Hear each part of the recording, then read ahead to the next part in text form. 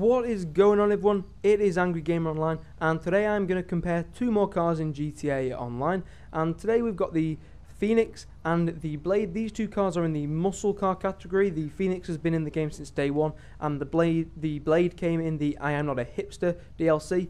Now both these cars are both pretty mad if you look at them. The Phoenix with its giant spoiler and the Blade with the uh, exhaust sticking out the bonnet. I think I think they're exhaust. I don't not quite sure.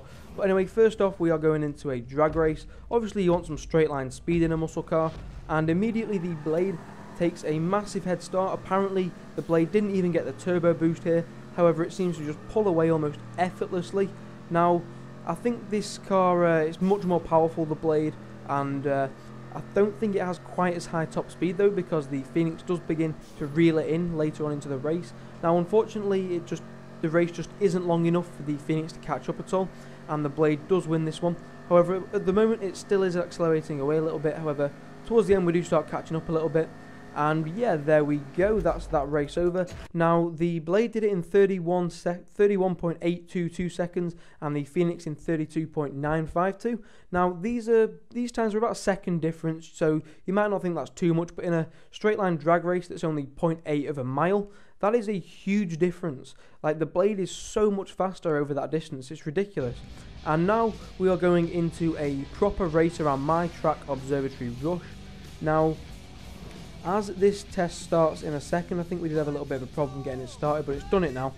And as you can see, immediately the blade surges into a lead as I'm like faffing around with the uh, the stereo in the car trying to shut it up. But as you can see on this first section, it's flat out, so obviously the blade takes a pretty big head start. However, as we go into the first corner, the Phoenix does catch up a little bit. However, it's not going to catch up catch up that much because as we come out the corner, the blade can accelerate away again. Now on this first section of the course, the Blade does win does win this first section by quite a long way. It's miles ahead by the halfway mark. Now that's just because this first section doesn't have many tight corners. This first section is mainly uh, flat out straights and a couple of winding bends. Now the Phoenix isn't so good on winding bends because it's so tail happy. It can be quite hard to control sometimes. Whereas the Blade is a little bit more poised. It's a little bit easier to handle. Now here I do spin off a little bit. I end up on the grass and I do knock over them signs. However, we do manage to catch up later on in the race. We cut this corner nicely. Now the blade at the blade at this point is miles ahead. It is ridiculous how far ahead it is. But as I've said, that's just because of the straight line nature of the uh, course at the moment. However, we do have to brake here. We do end up in a little bit of a slide. However, that was, I'd say, the fastest way around that corner to try and drift around in this car. Because if we were to try and go around any of these corners sort of uh, in real control in this car, we'd have to go down to a really low speed. So once again, we're going to cut this corner a lot just to try and catch up a little bit more. Now the blade takes a little bit more of a lead, it extends its lead up this hill because I think it is slightly more powerful than the Phoenix.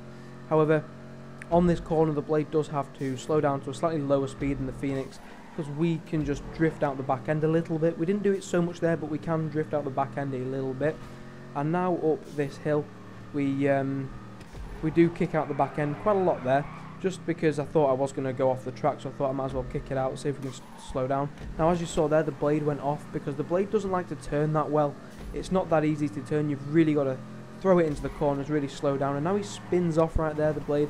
Unfortunately, because it's non-contact racing, we managed to get through there and win the race. So in this race, the Phoenix did it in 2 minutes, point 880 and the Blade in 2 minutes 2.965 so this just shows you that the Phoenix is about 2 seconds a lap faster and it's a lot easier to handle. We didn't have any uh, major catastrophes spinning off or anything. However, the blade did have one right at the end, as you saw. He ran very, very wide. And now we're on to a pushing war. This is just a test of power and grip, two very important things in a car. And this was really surprising. I thought the Blade was going to win this quite easily. However, the Phoenix seems to win and win quite well. Now, I thought that um, that F620 was going to help out there. However, it didn't. And that Mini Cooper hit me a little bit, but oh well. As you can see, we are winning this quite easily quite convincingly the Phoenix has won this. I was really surprised by this because the Phoenix isn't very grippy and I thought the Blade was more powerful. So yeah, that was one real big surprise. Also, both these cars are two-wheel drive, so we're not getting anything too spectacular out of this.